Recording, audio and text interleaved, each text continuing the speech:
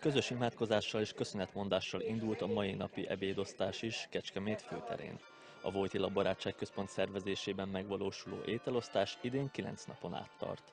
December 24-től január 1-ig minden délben ételt osztanak az önkénteseknek és a felajánlóknak köszönhetően a Barátok temploma előtt felállított sátorban. Mindig megköszönjük, és mindig hálásak tudjunk lenni annak a támogatónak, aki az aznapi ételt felajánlotta, illetve mindig nálunk a közös ima az mindig egy alap, ami belindítjuk az étkezéseket. Az étel mellé lelki táplálék is jár. Az első napon a köszöntőt és biztató szavakat Lezsák Sándor, az országgyűlés alelnöke mondta, aki utána a kiosztásban is segítkezett. Az embernek összeszorul a szíve, nem tud mindenkinek segíteni.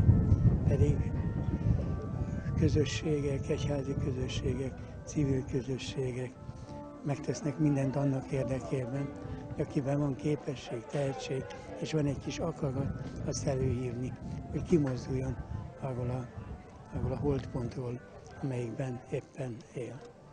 A mai napon 250 adag melegételt és péksüteményt osztottak ki.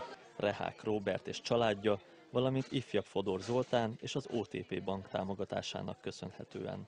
Inkább az érzelmi részét hangsúlyoznám, hogy a karácsonykor mindannyian felfokozott érzelmi állapotba kerülünk, és hát reméljük, hogy, hogy tudjuk esetleg enyhíteni azt a fajta nélkülözést, amiben ők élnek, illetve érzik azt, hogy mellettük állunk, érzik azt, hogy, hogy van lehetőség kitörni onnan, és hát mindig erre is biztatjuk őket. Az ételosztás a tartós betegségben szenvedők, kisnyugdíjasok, nagycsaládosok, hajléktalanok számára kiemelten fontos.